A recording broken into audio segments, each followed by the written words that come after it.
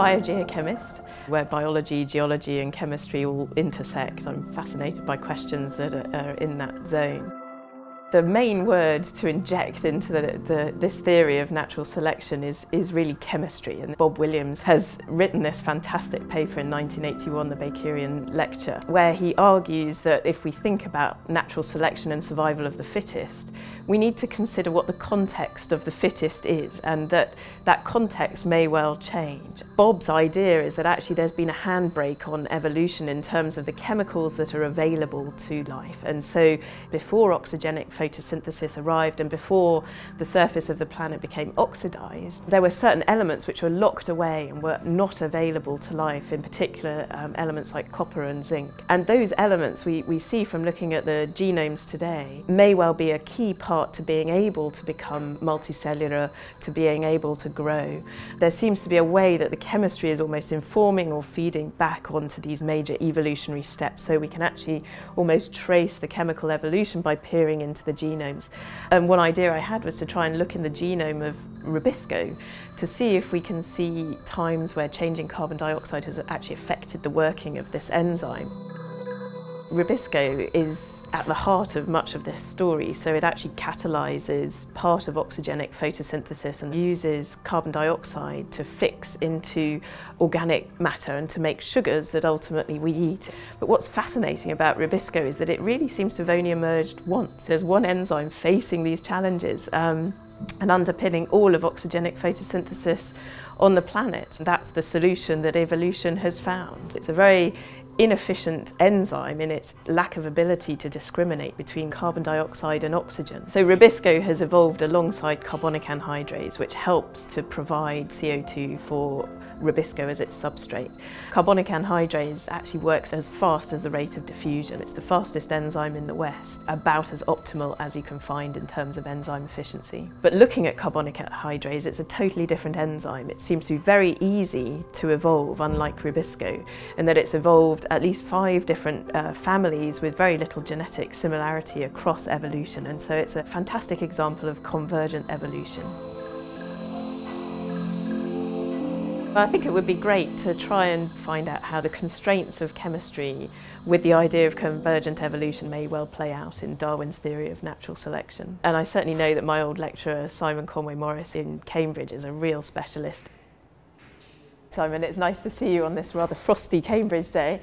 I've come to talk to you about evolutionary convergence. In essence, it simply says that from very different starting points in the evolutionary tree of life, you end up with very much the same solution, the same arrangement, more or less independently.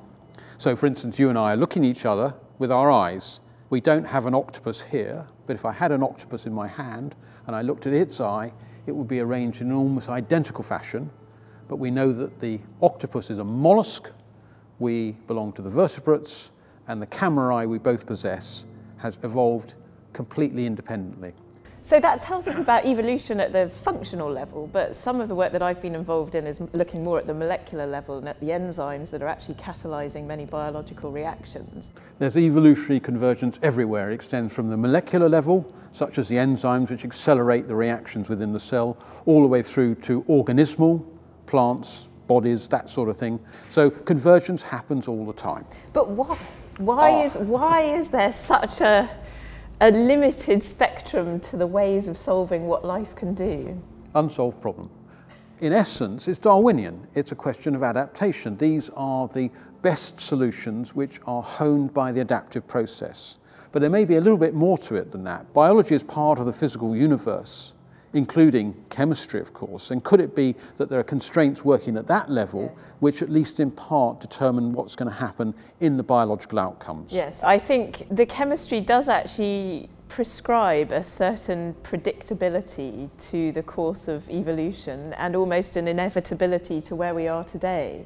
Where natural selection can occur, it can occur with, within the chemistry that is available at that time. And should there be a major revolution to that chemistry, then that could well lead to a, mm. a novel step of evolution. And life learns to use these things that are initially toxic to its processes. So the revolutions and the, the chemical catastrophes, you could almost say, actually seem to provide opportunity for advancement and evolution to complexity. Once there were bacteria, Now there's New York, okay? Sure, things have changed. Periodic table is populated by life. Of course, you only need a handful of elements to make a protein.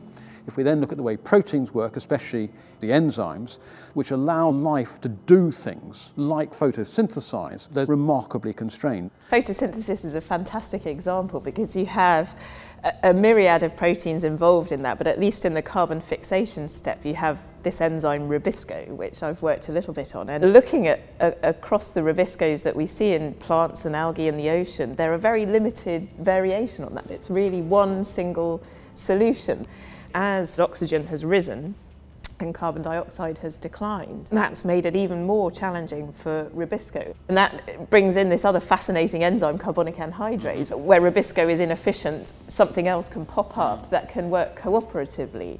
Carbonic anhydrase is absolutely astonishing, and yet the evidence suggests it's evolved three, four, maybe even five times independently. It is one of the best examples of evolutionary convergence at the level of molecules.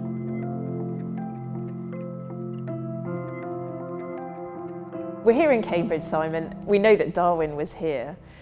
What would he say has happened to his theory with our new knowledge of the geological record, of biological organisms and the diversity of life? What a question. I think he would be delighted. Darwin principally viewed the world through the lens of natural selection and adaptation, and that's crucial to the evolutionary synthesis. But it's increasingly clear there's a great deal more involved. I think one thing about Darwin is that quite frequently in his works he'll ask a question and says, I'm puzzled by this, and almost invariably that's turned out to be an area of enormous importance in later investigations. I think probably what would have astonished him in a sense is just how complex biological form is. He didn't know about the genes, of course, but the great thing about Darwin, he was genuinely modest and he was genuinely curious. And as far as I'm concerned, and I'm sure that's true of you as well, if we follow in Darwin's footsteps in that regard, we can't really go too wrong.